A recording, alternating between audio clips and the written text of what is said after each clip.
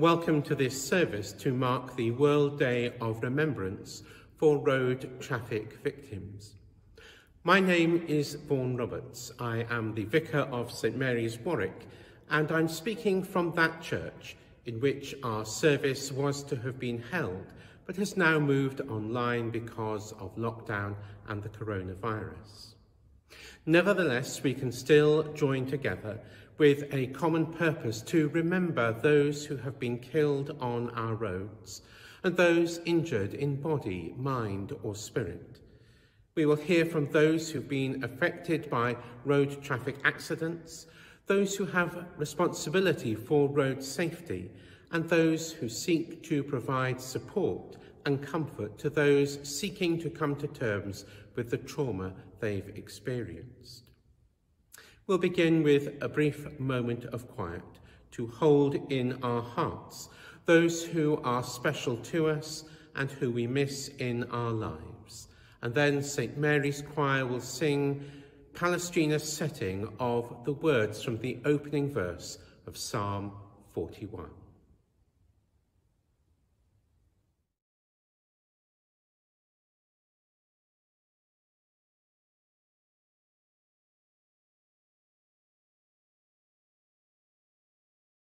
是。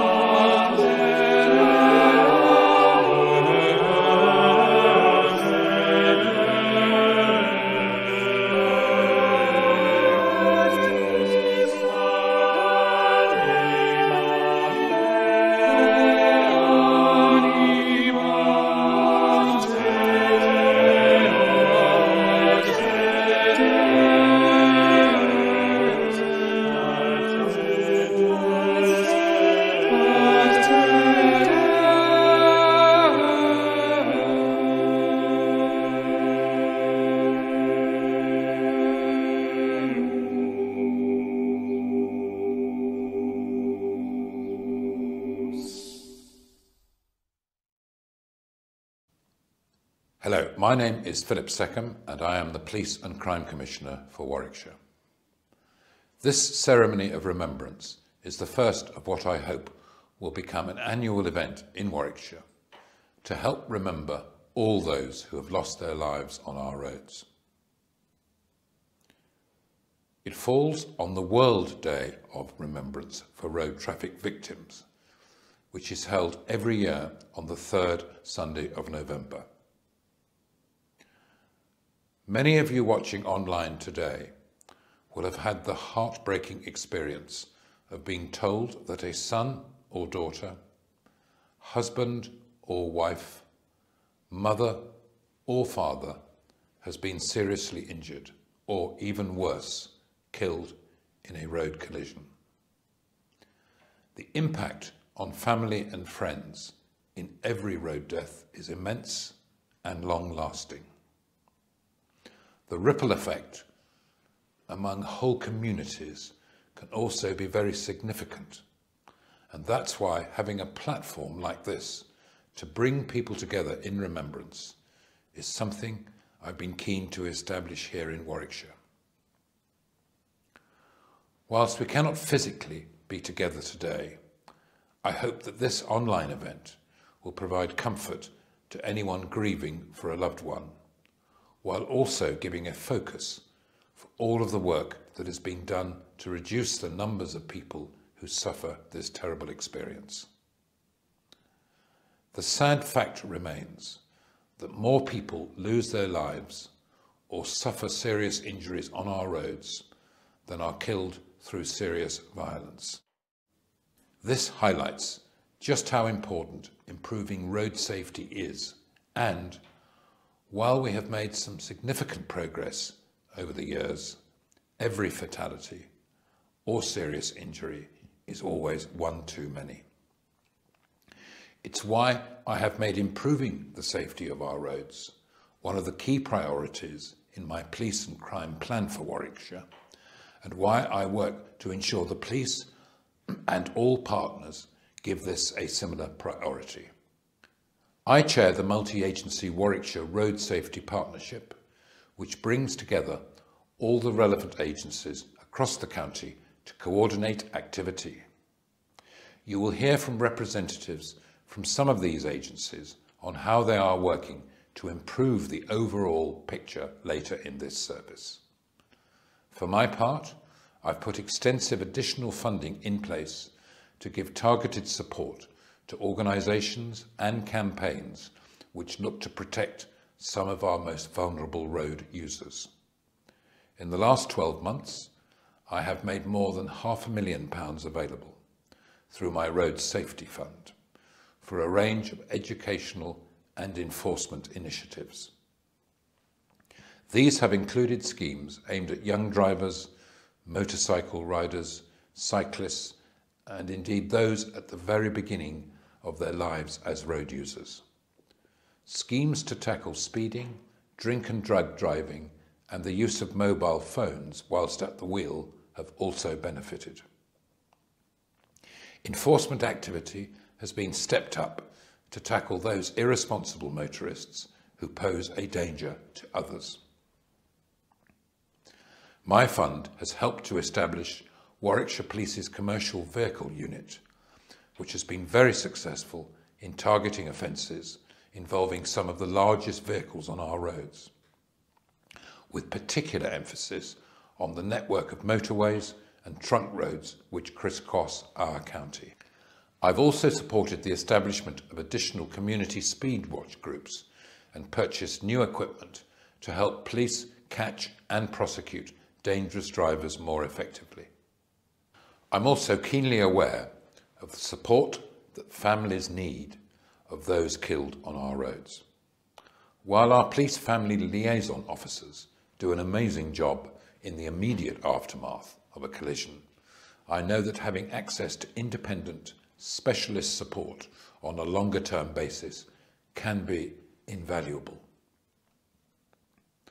That's why I fund BRAKE, the National Road Safety Charity, to provide Warwickshire with its own expert on the ground support for families bereaved by a road crash. This is a national first for BRAKE and something that I'm proud to be able to set in place. Our independent road bereavement advocate provides families with help to cope better with their emotional and physical symptoms overcome practical challenges, and look after their own well-being. The role works alongside a helpline, providing a listening ear from day one onwards. My final message is that we can all help to make a difference by being better road users, whether that's as drivers on two wheels, or four, cyclists, horse riders, or pedestrians. We all have a duty to use our roads safely and to look after one another. Taking our time, being aware of what's around us and the hazards that might cause us difficulty are all part of ensuring that as a community we are doing everything we can to reach a place with less death, injury and unnecessary heartache.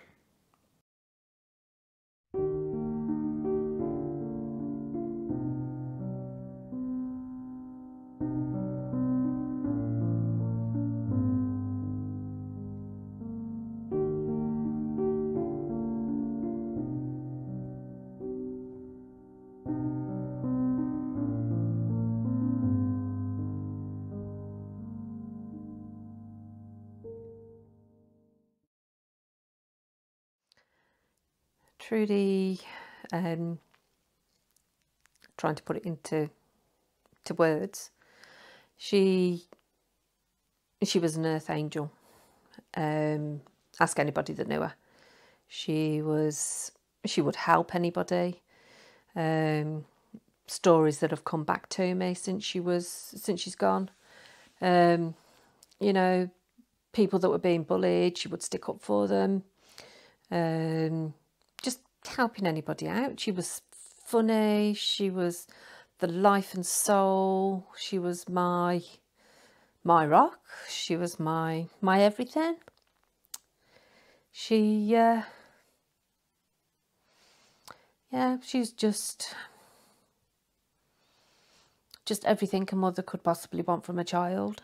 And I know a lot of mothers say that, which, you know, they are. Children are what you want them to be. But like I said, everybody that knew her, everybody that come into contact with her from being very, very tiny to up until her last days, everybody loved her. She her persona was just caring, loving, funny. She she would light up a room as soon as she walked into it. Um, and the rooms are all dark now. It's just just hard. And it's um it's uh like that for everybody that knew her. Like I say, friends, family, people that just knew her as an acquaintance, you know, everybody, everybody just misses her. It's the shock of it. Um, you know, one minute I was coming back from a particularly bad weekend in Birmingham with some friends. Uh, sat here, heard all the ambulances and the sirens and heard the helicopters and knew it was for the kids. I just knew it was for them.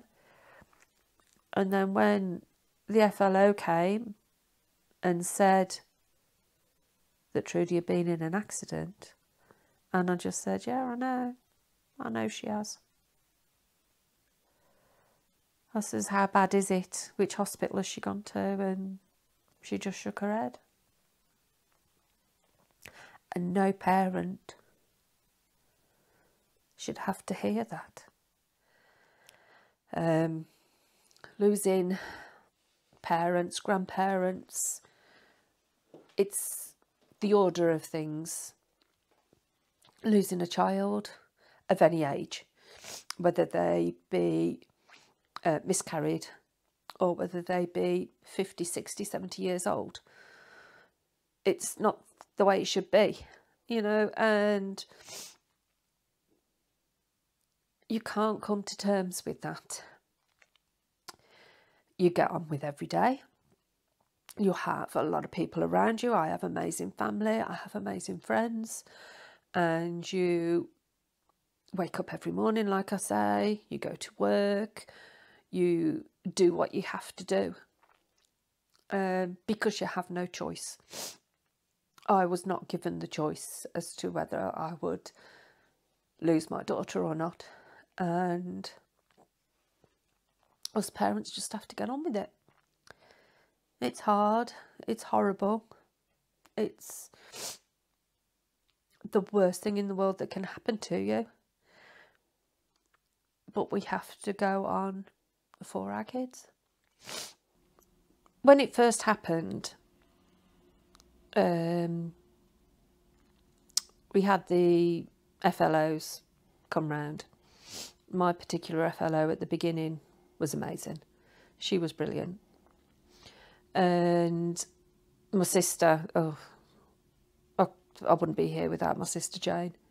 She found out a lot of things, um, all the different charities, and and that that could help me, and help her, and help the rest of the family, and friends. And there was Cruse, there's Compassionate Friends, um, there's the um, Brake, the road safety charity. And when it first happened, you get a folder from Brake um, that the police give to you, and it's got everything in there, everything you could possibly need, and all the questions answered that you're going to ask. Um, and yeah, I mean, they're there if you need them, but you have to decide to need them it gets to a point where you do need the help and everything is there for you. Uh, it's just having somebody that can look for it for you because I couldn't have done it. Um, like I say, I was lucky with my sister. She's she's done it all. She's been absolutely brilliant. She is now my earth angel. Um, and the general public, you know, people around Atherstone are amazing, absolutely brilliant the the love that has gone into it for all the families of that accident um, because I lost Ryan as well, which was Trudy's partner. Um, he was such a, a lovely boy, really, really, really was. I mean, those two per- perfect soulmates. Um, so you see, that was my future. Died that day. She was my only child, and. Uh, yeah, I'll never, I'll never have their wedding, their children, my grandchildren. All of that's gone now because of some stupid road accident that was not their fault. And that makes it harder. You know, if I could blame one of them for it. It would be easier, but I can't.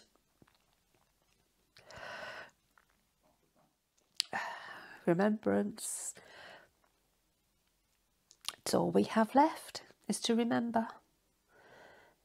And I think we are lucky nowadays with all the the technical stuff that everybody has with the videos and the cameras and the phones and that we have a lot more stuff to help us remember. Um, I feel lucky that I've got videos of Trudy May and Ryan and photos and things to help us remember. Um, but remembrance of anybody that's gone before us is a really big thing. Um, remembrance is keeping them alive, keeping them with us. And that makes it easier. Um, I think we have to remember the stories. Somebody said to me once that they will always be remembered until the last person that knew them dies. And that's a really horrific thing to think. So, with my um, my great niece, who never met Trudy, um, we just found out that Anna was expecting Sophia when uh, we had Trudy's funeral. And I still talk about Trudy with Sophia. I still tell her little bits, and if she does something that's like her, because she is quite a lot like her, um, I'll always talk about Trudy, you know, and we all do, because even though she never saw her, you know, she'll hopefully remember the stories about her and be able to point them out and like silly little things. She might say, oh, well, I was told that Trudy May did this when she was younger to her children, you know, and grandchildren. And hopefully Trudy's name will go on like that. But this is like the remembrance part of it. You know, like I say, this is all we have left is the remembrance of the people that have gone.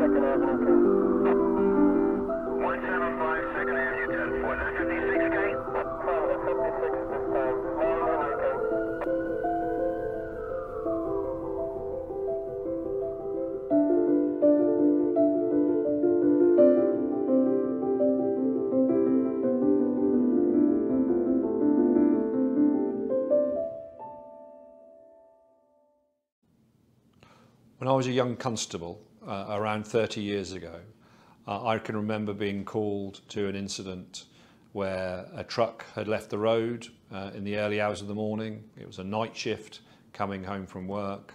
Uh, we assumed the driver had, had fallen asleep after a, a heavy night's work uh, and the truck left the road uh, and three people lay dead uh, in, in really a, a horrific accident when they hit an oak tree. Uh, and that memory and the subsequent contact with victims, their families, uh, and the devastation and how the ripple effect went out and impacted on people has always stayed with me. When, when we have one of those either fatalities or serious collisions in Warwickshire, clearly a lot of time and energy is spent by the force uh, investigating what happened and providing support for the affected loved ones and family. And we have dedicated family liaison officers who will be with the family at the various stages, uh, sometimes through to court cases. Uh, and that's really important to the families, uh, that, that they are kept updated uh, and know at every stage where the court case is at. Uh, and it's a lot of energy and time from our officers. And it's a lot of emotional energy, not just for the families, which is obviously the main concern, but the officers that have to to deal with not just the accident on the day, but the the, the family upset, grief, uh, and horror at what's gone on, and that takes its toll uh, on our officers uh, as well as indeed on the family. But it's an important aspect of the job and, and, and something clearly we will never shy away from doing. Each year in Warwickshire, we have over 300 people killed or seriously injured in road traffic collisions within the county. So that works out at just under one serious collision a day. Of those, uh, around 30 or so result in fatalities. Uh, and every fatality and every serious injury is one too many on our roads in Warwickshire. So here in Warwickshire, we're, we're determined to reduce down, preferably to zero in a perfect world, the, the serious injuries and deaths that we have on our roads. And to do that, we've been investing in, into roads policing uh, in the last two to three years in Warwickshire to make sure there's more capability out there to do enforcement because we know enforcement is a, is a key part in, in reducing uh, serious injury collisions on, on our roads. Uh, and we know that around two thirds of, of collisions involve excess speed in particular, but also things like people not wearing seatbelts, perhaps using a phone behind the wheel uh, and what have you. Uh, and we need to reduce those down to reduce the misery uh, and the hurt that is caused. Uh, and I always think there's a real contrast. So I, I talked about over 30 fatalities a year in Warwickshire, where we have normally less than 10 homicides. So three times as many people are killed on our roads as actually are subject to a homicide in Warwickshire, and that just can't be right. Uh, and the impact is no less devastating on families, whether they've lost a loved one through homicide or they've lo lost a loved one through a, a collision on our roads. So anything that we can all do collectively in partnership to reduce that heartache to families and people has got to be a good thing. Hello, my name is Andy Crump. I'm the portfolio holder for Warwickshire County Council's road safety, fire and rescue, flooding and community safety teams. Warwickshire County Council has the primary responsibility for road safety and we take this responsibility extremely seriously. Last year there was around about 350 people killed or seriously injured on Warwickshire's roads and that is far too many, even one is far too many and we are trying to reduce with our partners the number of people actually killed or seriously injured. Long-term behaviour change is the key to this. Only recently, not too far away in Oxfordshire, tragically a, a young mother and three children were killed in an accident, leaving a husband and partner and uh, a young child still critically injured. It made the headlines and was in people's consciousness for a for a short while, uh, but now people have forgotten about it. It's consigned to yesterday's news. Yet the family and friends and relatives of all those involved will have to live with that for the rest of, that, rest of their lives. The trauma will be ongoing. I do not wish anybody else to have to go through that. Um, and I, I, do send all my condolences to, to the family and friends of all involved. Warwickshire County Council will be introducing several initiatives one of which is the Safer in Warwickshire initiative, aimed at all local schools in our county. The scheme will encourage more people to go to school either by walking or by cycling, which will inevitably reduce the amount of traffic on the roads. We've all seen the congestion around schools in the north, south, east and west of our county and as many people have said to me, it is an accident waiting to happen, and I thoroughly agree with that. So if we can encourage long-term behaviour change, reduce the amount of people travelling to school by car, it will hopefully have a positive effect on these high numbers we have in Warwickshire. It's happened in, in many other areas. Who would have thought that 12 months ago it would be the norm to wear masks? And also uh, no people can't smoke are taking their children to school. So these things do happen, but they do take time and it involves a lot of partnership working. The County Council will also be introducing average speed cameras in four locations uh, in, in all parts of the county to again reduce accident numbers.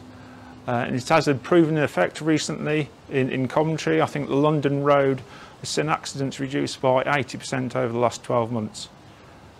Uh, working with our partners in the police involving enforcement and education, Warwickshire County Council's road safety team will also help to educate people of all ages because it's not just children, not just young people who are victims of these uh, awful incidents. So we do need to make sure everybody is still aware that uh, they take the proper safety precautions, whether they're walking or actually in the car themselves. Warwickshire Fire and Rescue Service, which is under my portfolio, does a great work keeping our residents safe and well.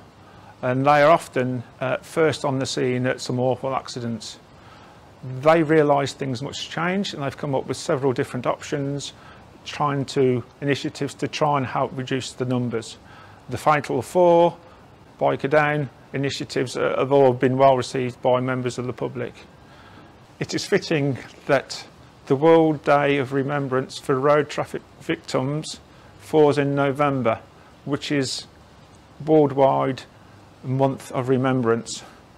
And we do need to remember of all the people who've sadly lost their lives over the last few years in Warwickshire. We do not want people to have to go through that again. So it is important that people do take some responsibility themselves when out either walking, out on their bikes, or more importantly, when they're driving uh, their cars and motor vehicles. One moment of distraction could lead to horrendous consequences, including loss of life. So please take care, please take responsibility, please look out for other people, and please be aware of other road users. Hello all, my name's Kieran Amos and I'm the Chief Fire Officer of Warwickshire Fire Rescue Service. And I'd like to take a moment just to talk about the impacts of road traffic collisions from a fire rescue service perspective. So the first thing that we know of, a, of an incident coming in is the bells go down at the fire station. That alerts our crews to respond and they'll see a message saying road traffic collision, persons trapped. Our crews are extremely well trained and well equipped to deal with all sorts of scenarios for road traffic collision. And on route, they'll be thinking about the scenarios and what they'll do.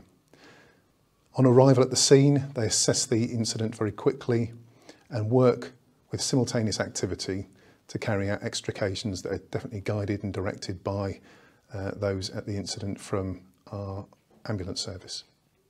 We work with other emergency responders to create the best effect at that incident.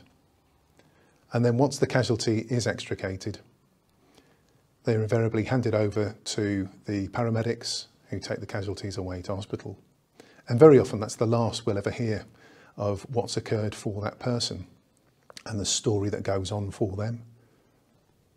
Now, from personal experience, many of these incidents stay with you and there's a significant effect on the crews and the impact upon them in terms of having to attend these, these types of incidents. But these pale into insignificance compared to the families and loved ones of those who've been killed or injured through road traffic collisions. That's why we're absolutely passionate about road safety and doing our best to ensure we can drive down these incidents. We need to learn as much as possible about how they occur. And our pledge is that we will work with our partners to try and drive these incidents down and make Warwickshire the safest place it can be to work, live and indeed travel through. We work with all sorts of partners to ensure that we're looking at all of the causes, potential causes for road traffic collisions. Uh, and that's looking at engineered solutions and prevention messages. And we try and change people's behaviours so we have a responsibility for education, particularly for young people, so that even before they start driving, they understand the potential consequences of poor behaviours when travelling on the roads.